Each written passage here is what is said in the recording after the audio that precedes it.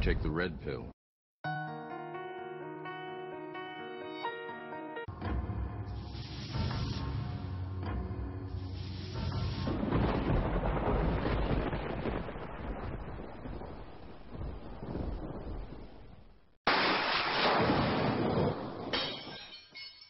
This is your last chance.